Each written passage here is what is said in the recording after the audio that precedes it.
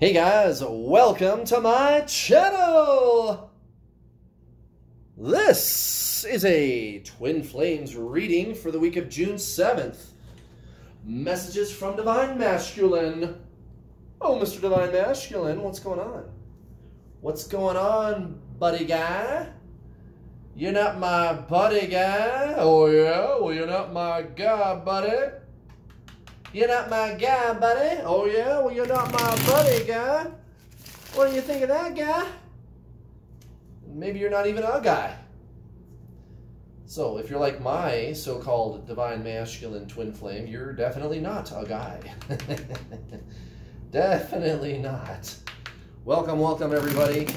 Hope you're having a super fabulous, awesome Saturday. I know I sure am, as always. I'm having a really good day. And if you're having a bad day, I will share a little secret with you. Maybe you are not having a bad day. Maybe you're not having a shitty day.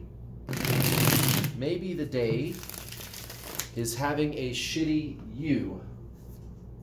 Maybe you're not having a shitty day. Maybe the day is having a shitty you. Think about that. Try this on for size. This is something that I teach my students when they ask me about the law of attraction. And that is the difference between cause and effect. Cause versus effect. So most people, when they think about cause and effect, they think, okay, well, all these things are happening to me out there in the world. These are the causes. These things that are happening out there in the world, they're happening to me, and they are the cause of how I feel, what I, what I'm getting, you know, the experience that I'm having, right? And that's what most people in the world do. In fact, almost all people. They see external causes and my experience is the effect of the external causes. But the way that it really works, guys, it's the other way around. It's the other way around. You are the cause, and the world around you is the effect.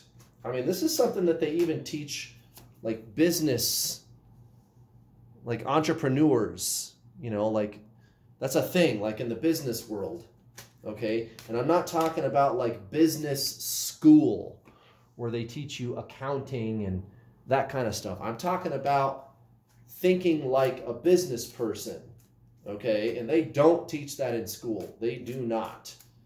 They don't want you to know how business people think. Okay? The system. That's the they that I'm talking about. They don't want you to think like a business person. They want you to think like a worker bee. That's what the system wants is worker bees. Good little compliant tax paying worker bees. Right? But even like a business philosopher or an entrepreneur or somebody like that, like Robert Kiyosaki. Anybody ever read that book, Rich Dad, Poor Dad? You know what I'm talking about. And there's like a spiritual undertone because the way that they look at the world is to say, I am the cause. I am the cause. The world around me is the effect.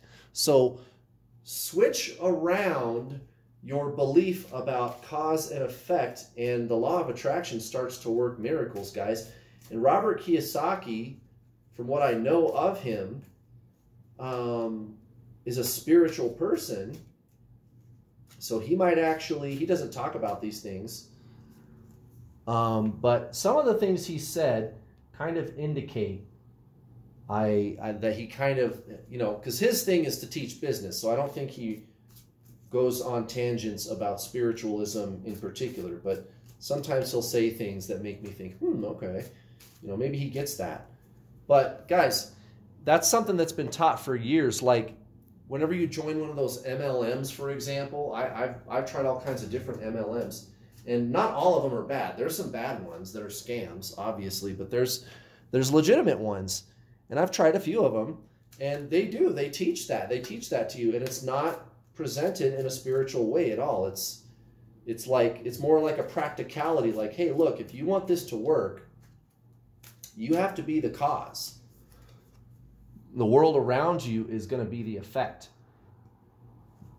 Now, those of us in the spiritual community, we, we take it a step further because we understand that it is energy and it's energy that's coming back to you. So you are the cause, and the world around you is actually the effect. How about that? How about that? So nothing is happening to you. Sometimes it seems that way, though, doesn't it? Sometimes it seems that way. Now, there's group consciousness also. You're not exempt from group consciousness. So, in that respect, it, it can be where something is happening to you. But that is a lot less of a factor than people often make it out to be. All right. At the bottom of the deck, we have the Nine of Cups for Divine Masculine. So, looks like this week, Divine Masculine energy is going to start to shift. They're going to be a little bit more willing to open up and to share their true highest self. That's what I see and they're going to be sharing some dark things, but at least they're going to be honest with everyone around them. It could be painful for some to hear, but at least they're going to start telling the truth. Yay! Thank God, it's about time. Look at this. Right off the bat, guys, recent past divine masculine, we've got the Knight of Pentacles riding in thinking very clearly and carefully about their next move? Or are we? I mean, it came out in the reverse. So I think divine masculine. Now, this is recent past. So, but that's a lot of projecting his or her fears onto the people around them. That's what I see with that card. And we're not surprised to see that at all. Towards the so-called karmic situation, we have the Ace of Cups and the Five of Swords both in the reverse. So again, this is divine masculine selling themselves out, selling themselves short, accepting less, um, but you know, buying into the belief that they're obligated to stay there. They don't deserve anything better, you know, etc. All those types of things. Okay, that's old news. Um, towards you, divine feminine, we've got the five of pentacles in reverse and the hanged man very, very interesting. Five of Pentacles in reverse, the Hanged Man. Okay, so some really difficult times for Divine Masculine. I mean, this is old news too, but you know, in recent weeks, it's really towards Divine Feminine. It's been a lot of guilt. It's been a lot of shame. I know what I did was wrong. Um, blaming themselves um, maybe not outwardly expressing that to you because of pride, but that's what it is, guys. I mean, that's why people get tarot readings, right? You want to know the truth about what's going on, not what somebody is saying, but what's really happening, right? That's the whole object of tarot readings.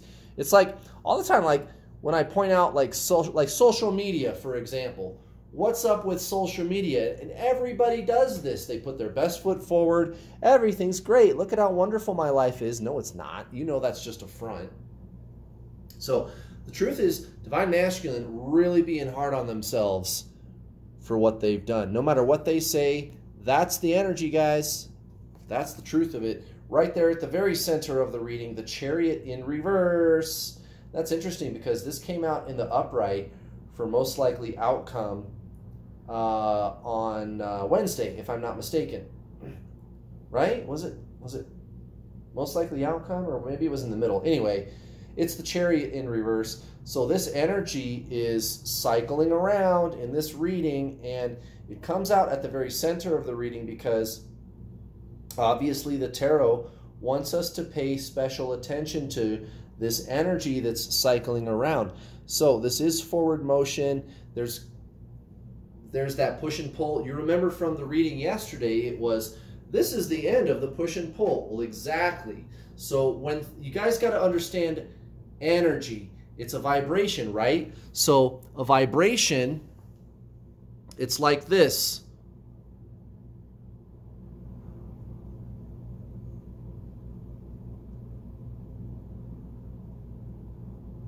Right? So when energy starts to cycle out, it's going to be back and forth. You're still going to get a little, a little, a little, a little, a little, a little, a little.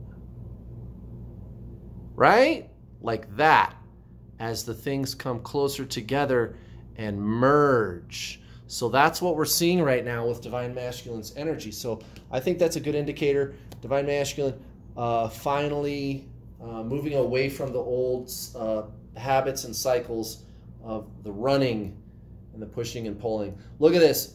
Towards the so-called karmic situation, the Knight of Cups and the Page of Wands in reverse. So, yeah, we got the Knight of Cups, but the Page of Wands in reverse, mm-hmm. I think Divine Masculine is sitting there looking at their situation, thinking that this is really just a lot of wasted effort. Like, why even bother? Why even go out on one more romantic dinner with my current partner? Or if it's, say, a job, like, say, they, it's their karmic situation is their job or something like that, right? They work too much. So, so whatever I'm saying, you take it and you apply it to your situation.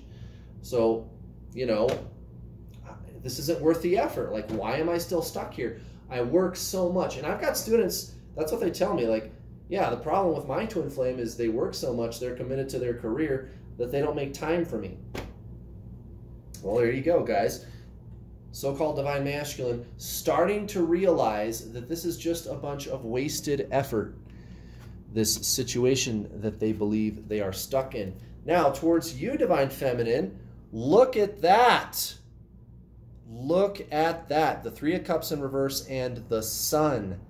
How about that action? So, when they come to you, it's going to be in a private way. They're going to want to keep it on the DL, right? They're going to want to keep it on the DL, on the down low. Um, confidential, you know, I don't want to um, announce what we're doing, but gosh darn it, can I talk to you?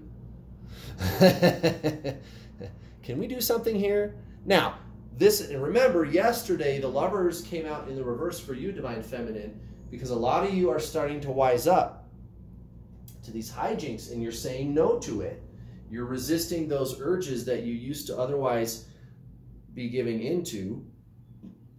You're actually owning up to your own energy and um, basically not selling yourself out. But this is good.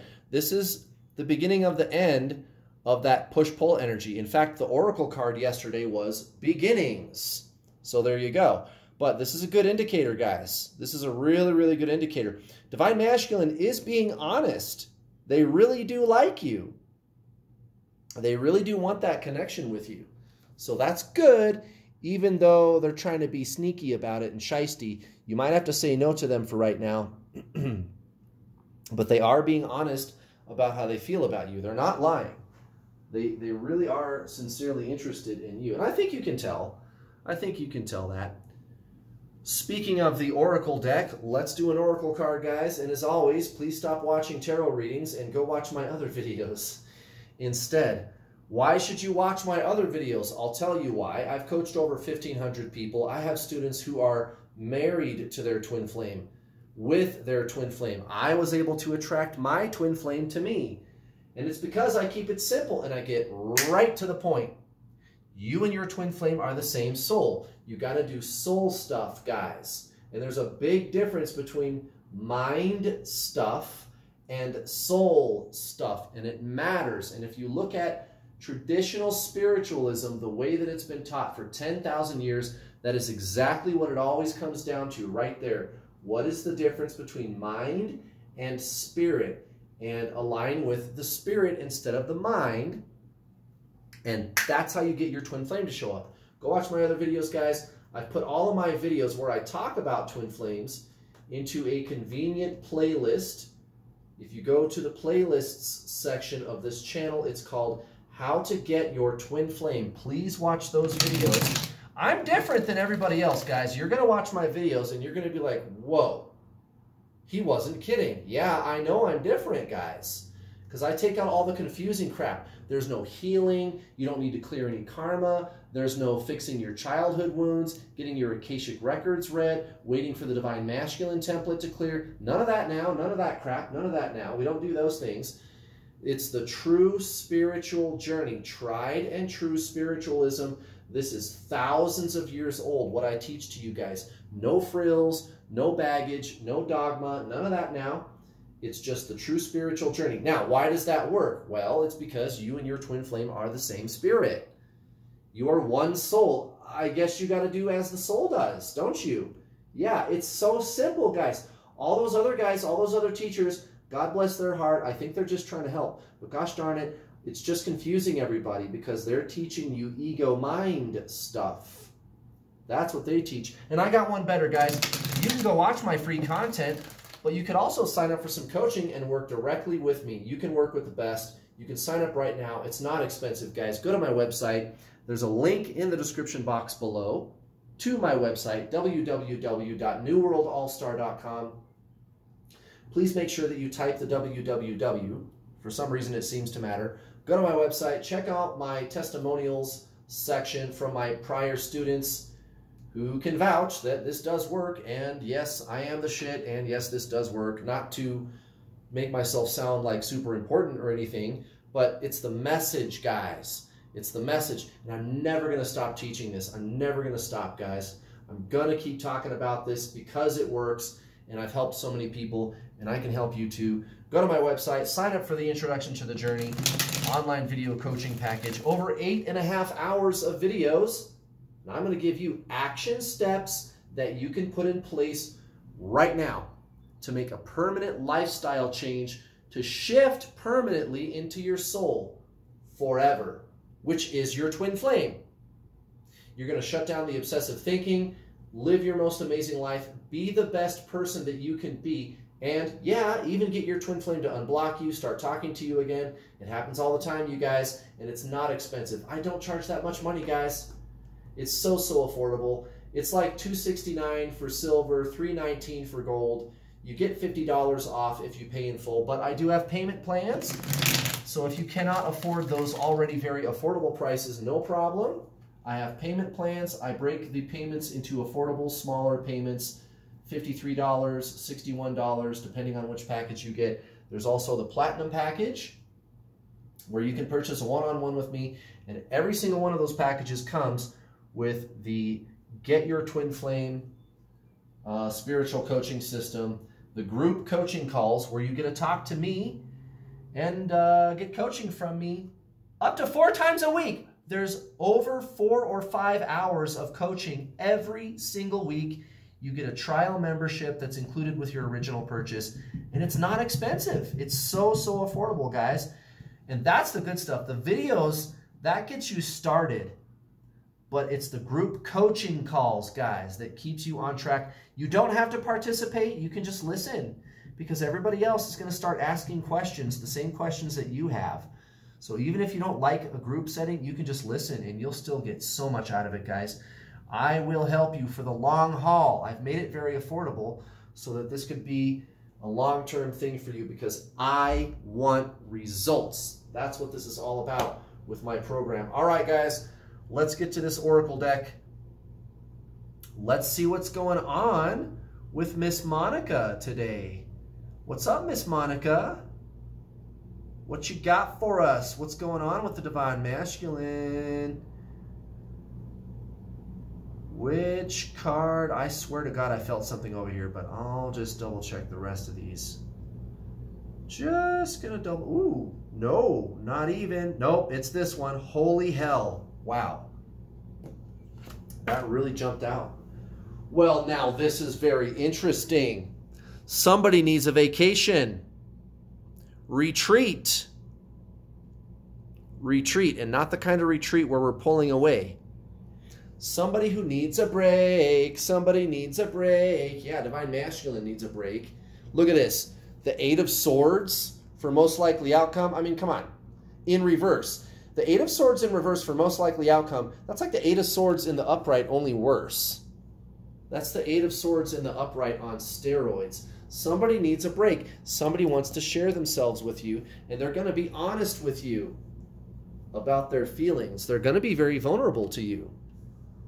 And that just came out on Wednesday. So it looks like Divine Masculine isn't going to be slowing down. Look at this. The Three of Pentacles in reverse, the Seven of Pentacles in reverse towards the so-called karmic situation. Uh, hello? Yeah, I'm not putting any effort into that situation at all this week. It's all going to be Divine Feminine.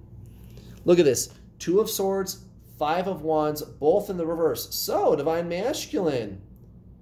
Not feeling too... What's the word? I don't know just a total guilt trip. A total guilt trip. They're feeling guilty. They know that they did wrong by you, and they are like desperately seeking to get out of this trap. I need to get away from my situation. You're like an escape to divine masculine, but at the same time, they're a little bit afraid to reach out to you because maybe you're going to bite their head off. I don't think so, though. I don't think you will divine feminine. Maybe some of you will, but I think most of you tend to be pretty empathetic and sympathetic towards your divine masculine. They're just going to be honest with you. They're just going to be honest with you and everybody around them about what they're really feeling and thinking. And I think it's going to shock a lot of people. It really is. Thank you very much for watching, guys. Please hit the like button and subscribe. And when you subscribe, don't forget to hit the bell notification icon so that you get notifications whenever I post one of my videos. Thank you, thank you. I'll see you tomorrow for the Divine Feminine reading. Have a wonderful Saturday. Bye.